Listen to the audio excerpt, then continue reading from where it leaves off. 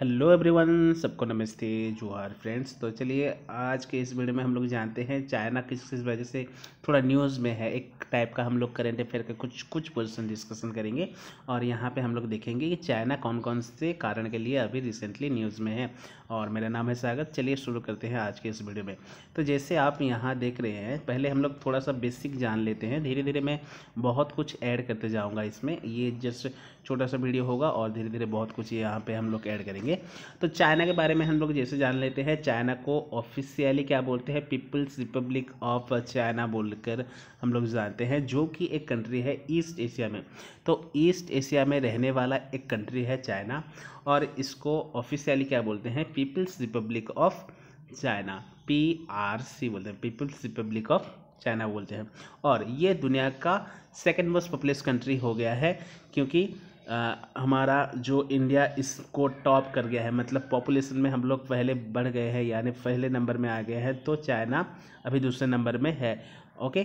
तो ये चाइना क्या करता है फाइव टाइम्स जोन्स तो equivalent of China spans the equivalent of five times zones and border fourteen border fourteen countries by land तो क्या करता है ये जो अपना इक्वलेंट फाइव टाइम जोन के इक्वलेंट ये अपना विस्तार करता है और उसका बॉर्डर क्या करता है?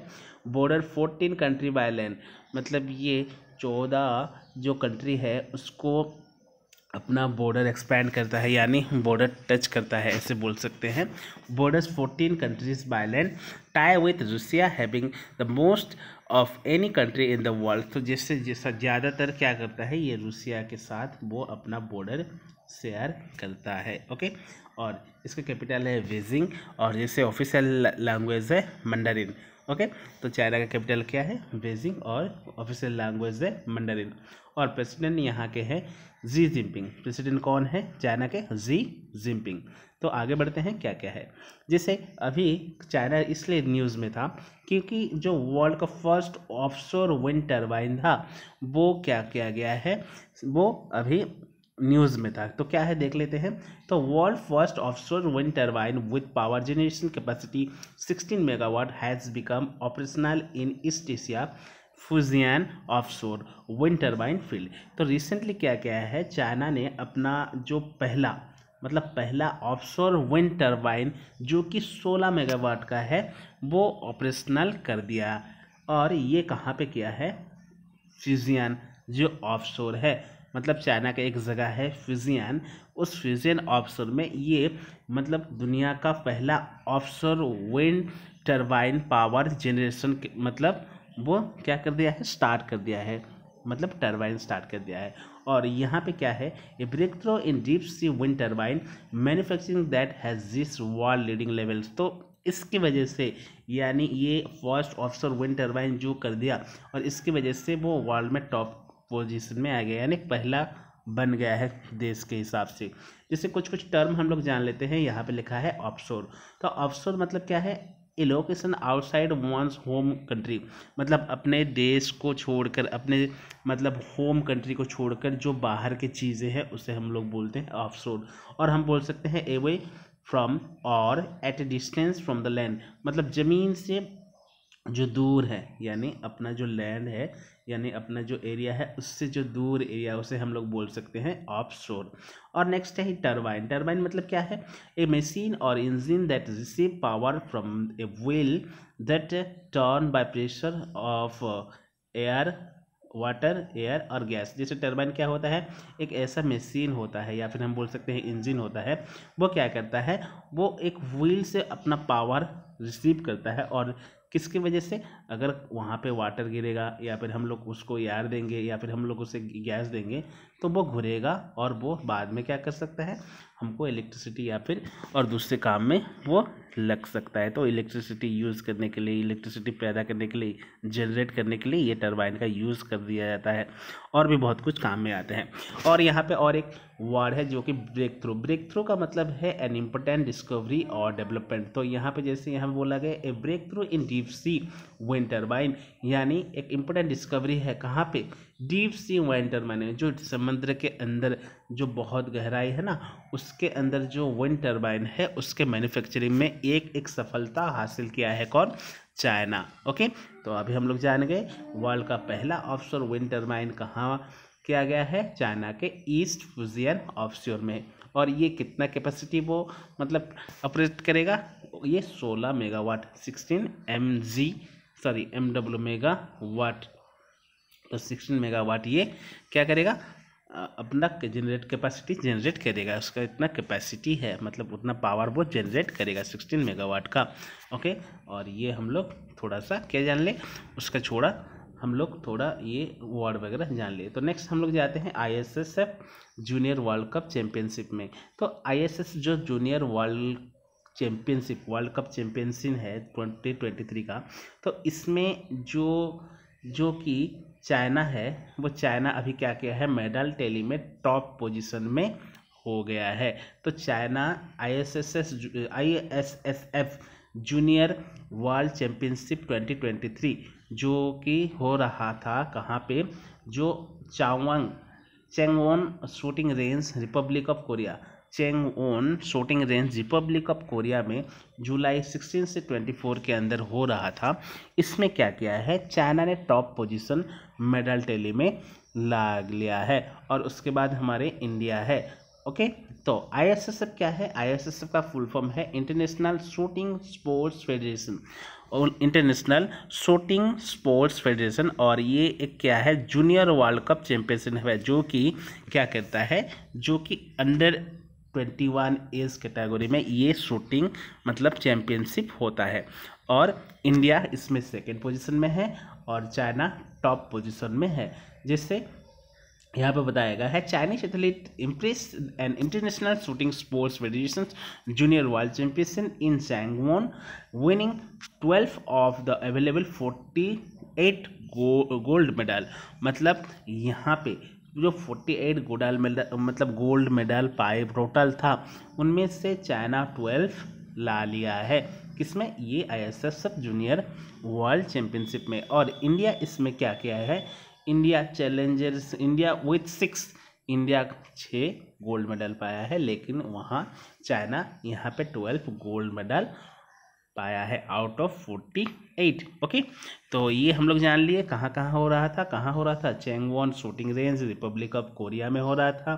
कितने कितने, किन, किस किस के मतलब डेट के बीच में हो रहा है? जुलाई फोर्टीन से जुलाई सिक्सटीन से जुलाई ट्वेंटी फोर में हो रहा था। और ये क्या है? इंटरनेशनल शूटिंग स्पोर्ट्स फेडरेशन और ये जूनियर वर्ल्ड चैम्पियनशिप है, जो कि अंडर ट्वेंटी वन कैटेगरी में होता है। ओके फ्रेंड्स इस इसलिए चाइना भी न्यूज़ में था।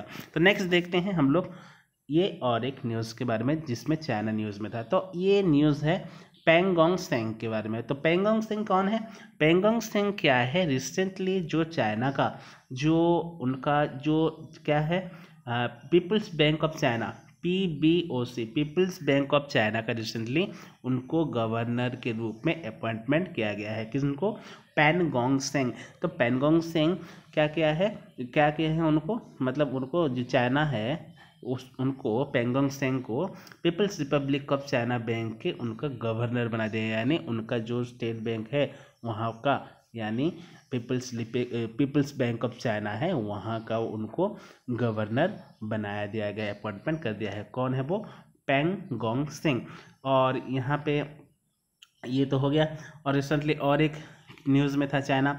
रिसेंटली क्या हुआ? China and Russia hold naval race recently China और रूसिया भी न्यूज़ में थे। चाइना इसलिए भी न्यूज़ में था, क्योंकि वो रूसिया के साथ क्या गया था? नावल रेस किया था और वो उसका नाम था security bond twenty twenty three. तो security bond twenty twenty three इसलिए न्यूज़ में था क्योंकि वो चाइना और रूसिया इसमें दोनों में पार्टिसिपेट किए थे नावाल ड्रिल्स में और ये फाइव डेज़ मिलिट्री एक्सरसाइज था, जो कि कहाँ हुआ था? गल्फ ऑफ़ ओमान में हो रहा था। गल्फ ऑफ़ ओमान में हो रहा था और इसमें कोऑर्डिनेट कर रहे थे और ऑपरेशनल कोऑर्डिनेटेड मतलब coordinated involving naval operation by China Iran और रूसिया इसमें कोऑर्डिनेट कर रहे थे तीनों कंट्री चाइना ईरान और रूसिया जैसे यहाँ पे हम लोग देखते हैं और एक वर्ड यहाँ पे नावल है तो जैसे नावल का मतलब है कनेक्टेड विथ द नेवी जो नेवी से संबंधित हो उससे रिलेटेड हो तो उसको हम लोग बोल सकते हैं नावल, जो कि नेवी से लगा हो लगाए हो तो उसको हम बोल सकते हैं नावल। तो पेंगोंग सेंग कौन है? पेंगोंग सेंग गवर्नर है। किनका? जो चाइना का, पीपल्स बैंक ऑफ़ चाइना है, उन बैंक का गवर्नर बन गए हैं पेंगोंग सेंग। ओके? आगे बढ़ते हैं। नेक्स्ट साइबर स्पेस रेगुलेटर ये क्या है? साइबर स्पेस रेगुलेटर जैसे आजकल क्या हो रहा है? बच्चे लोग बहुत क्या कर रहे हैं? मतलब स्मार्टफ़ोन का यूज़ कर रहे हैं और उसमें अनलिमिटेड यूज़ कर रहे हैं। यानी बहुत उनका मतलब हेल्थ इशू बहुत हो रहा है टेक्नोलॉजिकल इशू इसकी वजह से साइबर स्पेस रेगुलेटर नाम कर चाइना का एक साइबर स्पेस रेगुलेटर है। वो क्या बोला है रिसेंटली जो children under age of eighteen जो बच्चे अठारह साल से उस, नीचे हैं, अठारह साल के नीचे हैं, उनका जो यूज़ है, यानी स्मार्टफ़ोन का यूज़ है maximum two hour a a day मतलब एक दिन में वो लोग दो घंटा ज़्यादा से ज़्यादा यूज़ कर सकते हैं। ऐसे एक रूल्स वो बना दिया है कौन? चाइना का cyberspace regulator sending share in tech company stumbling तो जो इशू हो रहा था, वो इशू के चलते जो अंडर एटीन है, यानी अठारह साल उम्र के नीचे हैं, उन बच्चे को क्या किया गया है? वो लोग स्मार्टफ़ोन का यूजेस क्या करेंगे? लिमिटेड कर देंगे और उसको, उनको क्या करेगा बस मैक्सिमम दो घंटा, एक दिन में बस दो घंटा ही यूज़ कर सकते हैं। जैसे यहाँ पे दिखाया गया है, उनके बीच में एक घंटा यहाँ पे, और सुबह और एक घंटा शाम इनके बीच में बोल रहा है इंटरनेट और मोबाइल डिवाइस फ्रॉम मतलब इनके बीच में कभी भी बोलो क्या कर सकते हैं? यूज़ कर सकते हैं, बस दो घंटे ओके यूजेस और यहाँ पे जो है cyber space administration of China ये ये किया गया है, यानी चाइबर का, ये चाइना का क्या है? एक साइबर स्पेस रेगुलेटर है ओके तो आगे बढ़ते हैं फ्रेंड्स नेक्स्ट ओके तो अभी के लिए इतना ही। आई होप ये आपको छोटा सा वीडियो अच्छा लगा होगा। नेक्स्ट वीडियो में हम लोग और भी बहुत कुछ ऐड करेंगे और चाइना के बारे में और बहुत कुछ भी ए, मतलब जानेंगे। और ऐसे ही अलग अलग टॉपिक पर मैं छोटा छोटा वीडियो लेके आऊँगा जैसे चाइनाइज़ न्यूज़ और अलग अलग कंट्री न्यूज़ या फिर पर्सनैलिटी न्यूज़ और कुछ कुछ भी ऐसे ऐड करते रहूँगा। इसमें क्या हो रहा है मैं भी पढ़ रहा हूँ और आपको भी थोड़ा सा मतलब बता रहा हूँ तो मतलब सोच रहा हूँ कि आपका भी कुछ बेनिफिट हो जाए। तो अभी के लिए इतना ही फ्रेंड्स मिलते हैं नेक्स्ट वीडियो में। Thank you so much thanks for watching